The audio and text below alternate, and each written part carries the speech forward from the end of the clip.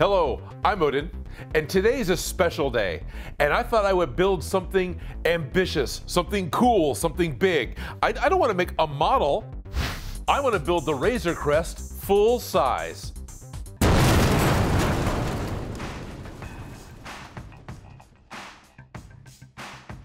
Are you kidding me? Seriously. Uh, uh.